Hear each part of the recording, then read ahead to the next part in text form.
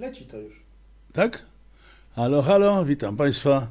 Nie nagrywałem chyba z dwa lata, proszę Państwa, tutaj żadnych wiadomości, informacji ani felietonu, byłem tak szaleńczo zajęty, że nie miałem na to w ogóle czasu. No i teraz od nowa zaczynam, proszę Państwa, w moim wieku rozpocząć nagrywanie, to trzeba znowu się przyuczyć do tych wszystkich guziczków, do tych wszystkich przebiegów, do tych wszystkich znaczników. Pomaga mi tu mój synek, że mi się to udało, a dlatego się włączyłem, że chcę zaprosić moich sympatyków do kabaretu pod egidą, który gra 25 y, marca.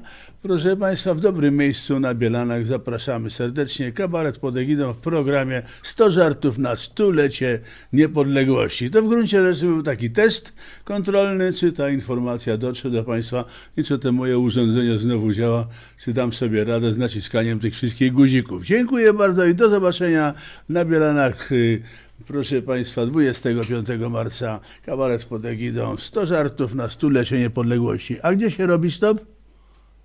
Uważasz, że wiem? Stop gdzie się robi? W tym samym miejscu. Tutaj?